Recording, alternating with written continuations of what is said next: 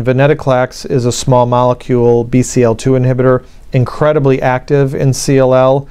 It looks to have potency that's comparable to ibrutinib, although they have not been compared head to head yet.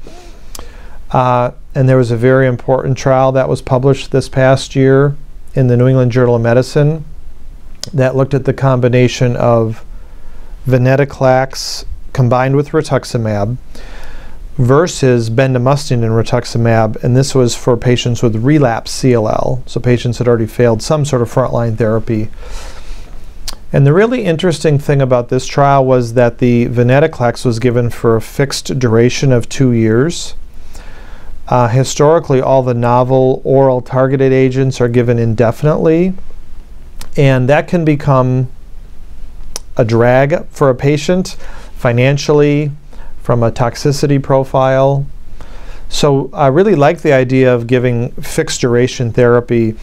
So the rituximab was given for six months and then the venetoclax for two years, and that was compared against standard BR, bendamustine rituximab.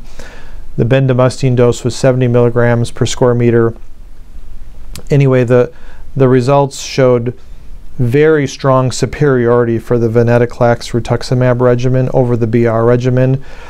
The progression-free survival curve is very impressive with about 80 plus 84% of patients progression-free at two years. So a very potent regimen and I think really an excellent choice for second line therapy for any CLL patient. And those results were equally good whether the patients were mutated or unmutated, uh, virtually as good uh, whether they had 17p deletions. So venetoclax works very well even in the unfavorable subtypes.